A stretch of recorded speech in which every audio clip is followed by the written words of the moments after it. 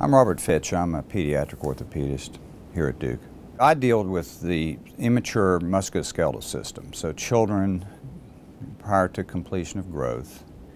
And there are unique disorders that occur in children related to growing.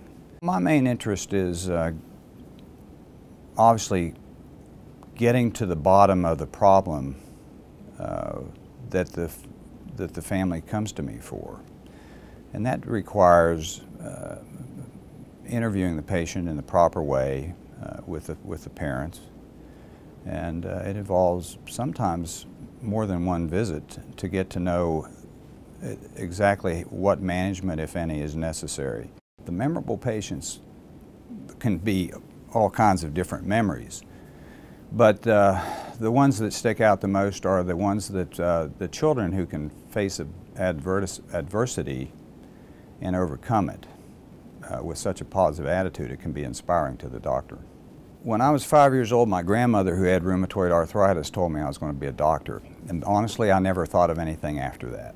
I have had a uh, outstanding training, and on top of that, I've had pretty extensive experience.